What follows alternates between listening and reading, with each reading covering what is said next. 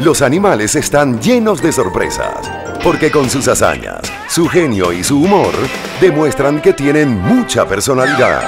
Animals are beautiful people. Este sábado a las 7.6 centro, por Telemundo.